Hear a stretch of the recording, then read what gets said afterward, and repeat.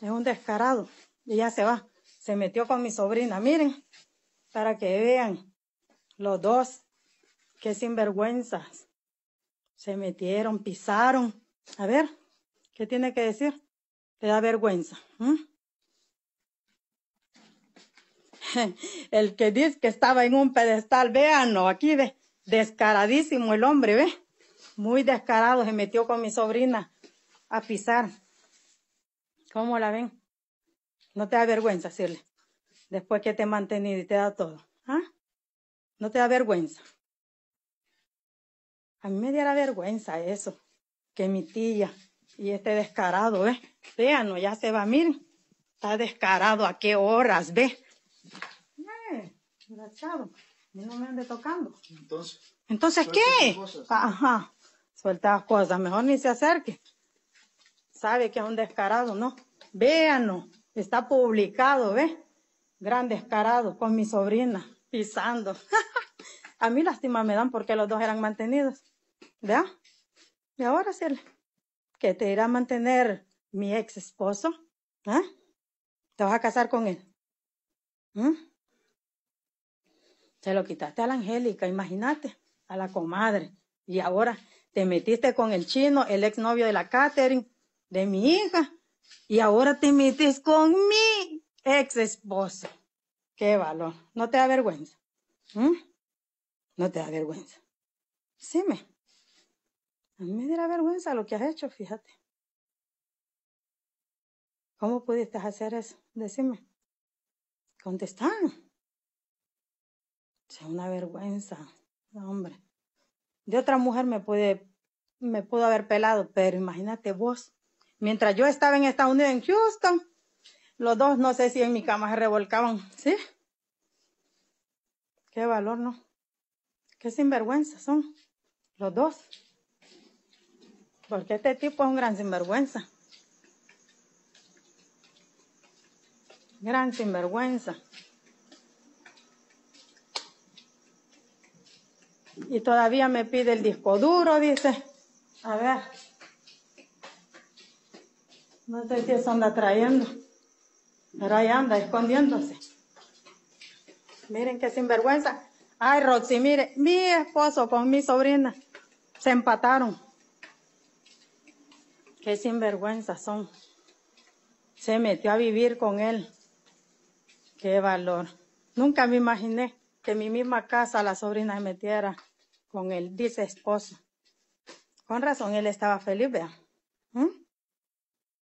Pisaban en la misma casa. Uy, no te da pena decirle. Tanto que te dije, con la, familia se respeta. ¿Te acuerdas que te lo dije? ¿Ah? ¿No te acuerdas?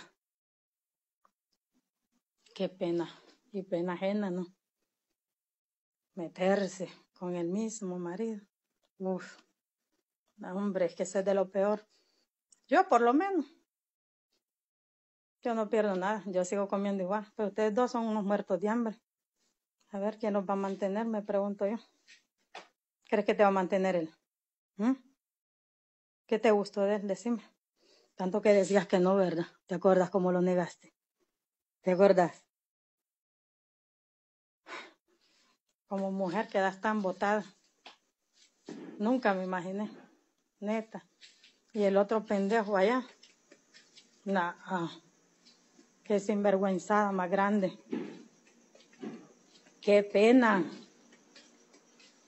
Es un sinvergüenza.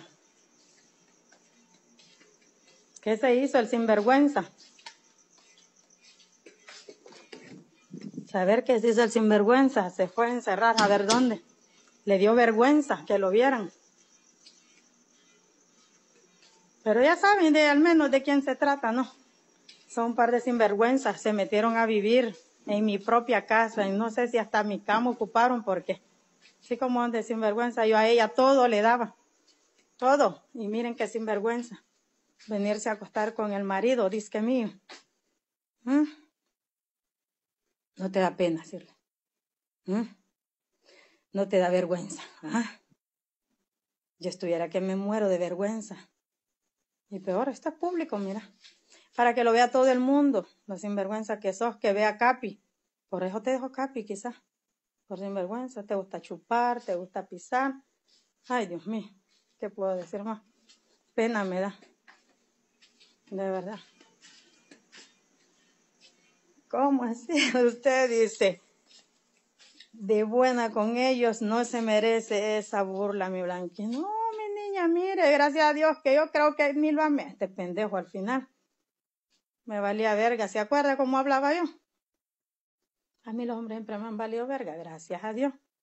Pero yo con mis sobrinos, dije que no. Qué vergüenza, ¿no? Es una vergüenza. Imagínese como mi hija la atendía, yo ayudándole en todo, hasta con su hija. Ella aquí como una reina haciendo nada, porque aquí no hacía nada. Para venirse a empatar con el marido, no. Es de lo peor, ¿no? Qué pena ajena, ¿no? Uf. Dios santo. Ahí te toca irte con él. Arregle sus cositas para que la mantenga, ¿sí? ¿Me entiende? Va a vivir, tal vez la mamá le da donde vivir. Porque yo